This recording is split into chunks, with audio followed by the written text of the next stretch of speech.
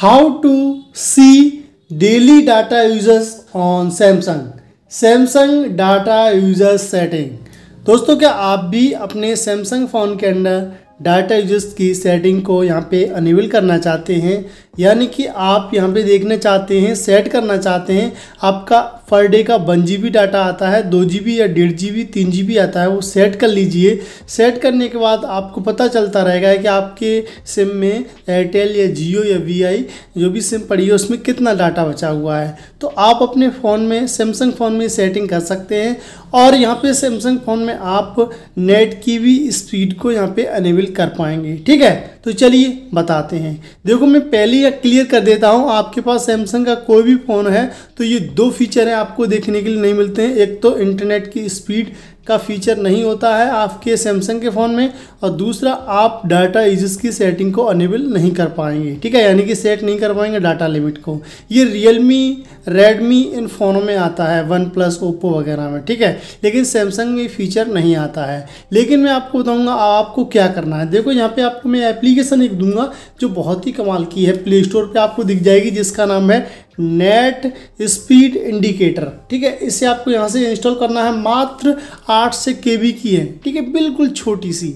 ठीक है? तो इसे आपको बस डाउनलोड करना है और यहाँ पे कुछ सेटिंग्स इसमें हैं, वो आपको अनेबल करनी है, यानी कि ऑन करनी है, तभी ये एप्लीकेशन वर्क करेगी आपके फ़ोन में। तो चलिए यहाँ पे मैं फुल सेटअप करके आपको दिखाता हूँ।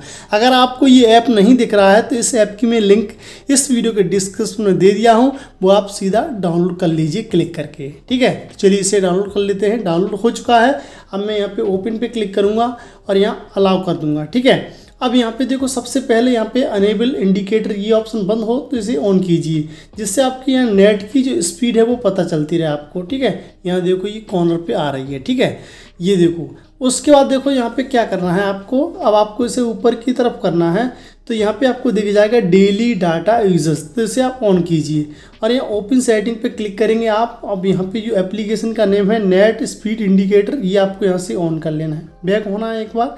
ये देख सकते हैं, डाटा, डेली वाईफाई यूज़ अगर वाईफाई यूज़ करेंगे, तब भी आपका यहाँ शो हो जाएगा, ये ऑन कर लीजिए, ठीक है? डाउनलोड अपलोड स्पीड ये भी ऑन कर लीजिए।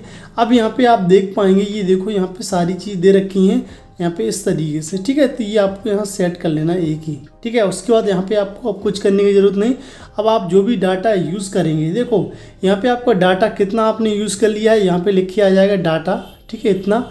ठीक है वाईफाई का कितना डाटा यहाँ पे यूज़ कर रहे हैं, ठीक है? उसके बाद यहाँ पे आप देख पाएँगे डाउनलोड और अपलोडिंग स्पीड यहाँ पे आपको शो हो जाएगी। ये देख सकते हैं स्पीड शो हो रही है, ठीक है? तो इस तरीके से आप कर सकते हैं। वीडियो आपकी कैसे के लिए हमें कमेंट में ज़रूर बताइए। जय हिंद, वंदे मातरम।